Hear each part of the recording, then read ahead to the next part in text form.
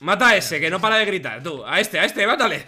No, no, Ibai, no, no. A este que no para, no para de gritar, que me está volviendo loco. No le comemos. Al chico no nos estamos muriendo de hambre, tío. Por favor, tenemos Suelta ese gorila, suéltalo un momento, suéltalo un momento. Que no, que no, que no. ¡Suéltalo, Deku!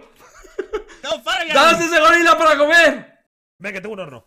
Vamos, vamos, mételo en el horno, mételo vivo. Mételo vivo en el horno.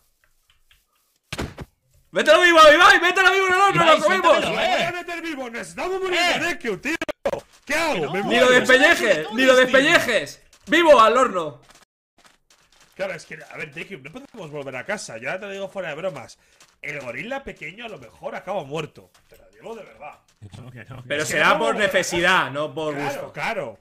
Será por animales que hay por aquí por la zona, no me jodáis. Deku, ¿y si despellejas al gorila y lo utilizamos de manta para el invierno? Piensa que por las noches en el desierto baja muchísimo la temperatura, ¿eh? No, no, Fargan, mira, a mí me está dando frío, mira el cielo, eh. Lo digo totalmente en serio. Tengo un frío de cojones. No, no, esto es A lo- terrible. A lo mejor una mantita de gorila. Una mantita de gorila a mí me apetece. A mí me apetece. es enano este gorila, Deku, hombre. Matarlo no, despellejarlo. O sea, matarlo no. Quitarle Ah, la y, piel. y dejarlo vivo sin piel, ¿no? No Pero sácale los ojos para que no vea cómo le estamos despellejando.